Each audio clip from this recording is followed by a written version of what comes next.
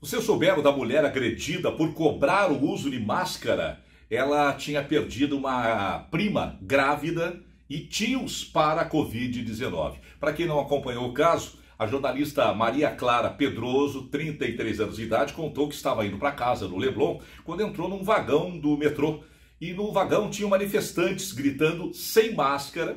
Ela embarcou na estação Afonso Pena, na Tijuca, indo para a Zona Sul. E disse que se deparou com um grupo de pessoas com camisa do Brasil, verde e amarela, bandeira, é, apetrechos e tal. Quando passou pelo grupo, viu uma mulher sem máscara e pediu que ela colocasse a proteção. A mulher se negou, dizendo que era problema dela. No momento em que se, eh, se encaminhava para pedir auxílio de segurança, a jornalista teve o cabelo puxado, reagiu.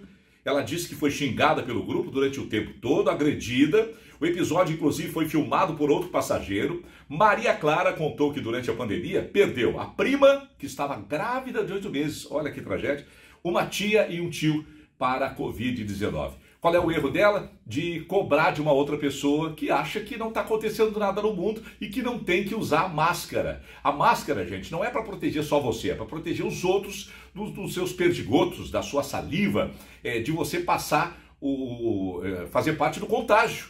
Gente, para quem não entendeu ainda, o mundo inteiro já entendeu nesse ano e três, quatro meses da, da pandemia. Se tem uma coisa que serve para impedir o contágio é o uso de máscara.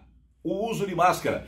Uh, lavar as mãos com álcool. São coisas. E o lockdown, que muita gente é contra, mas quanto mais se rebelar e demorar para aceitar o que é preciso ser feito, mais difícil vai ser retomar a vida da gente. Então, quando você não usa máscara, não é um direito só seu, porque o direito da pessoa que vive em sociedade vai até onde começa o direito do outro. E se o outro não quer se infectar, você não tem direito de é, transgredir, de não ser sensível, de não seguir regras que valem para todo mundo.